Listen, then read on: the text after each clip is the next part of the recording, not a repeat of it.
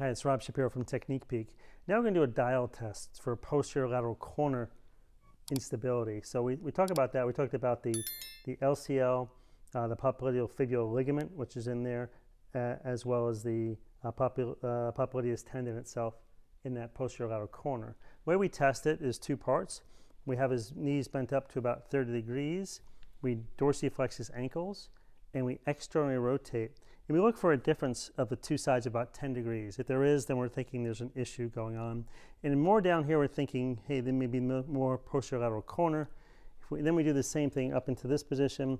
We dorsiflex, we externally rotate, and again, looking for 10 degrees difference. If it's more in this position, we're thinking PCL. If it's more in this position, we're thinking posterior lateral corner. Or if they both have too much mobility, we're thinking PCL as well as posterior lateral corner. So the keys to this is 30 degrees, dorsiflexion, external rotation, 90 degrees, dorsiflexion, external rotation. That's a dial test. It's Rob Shapiro from Technique Peek.